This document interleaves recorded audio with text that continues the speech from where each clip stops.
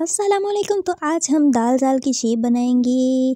तो दाल की एक शेप कुछ इस तरह से है। नीचे मैंने लिए है फाइव ब्लॉक्स और ऊपर की तरफ़ दरमियान में से थोड़ा सा एक ब्लॉक का फासला छोड़ के आप इसे क्लोज़ कर देंगे। तो ये है दाल जाल की शेप। जाल है तो ऊपर आप एक नुक्ता लगा देंगे। तो ये है हमारी दाल की शेप। एक शेप इस तरह से है। तीन का फासला है और नीचे सिक्स का। और ऊपर की तरफ़ भी आप तीन का इस तरह से इसकी शेप बना देंगे।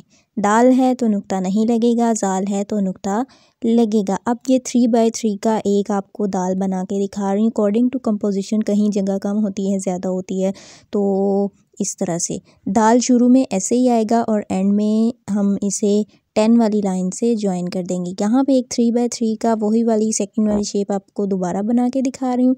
और ये थोड़ी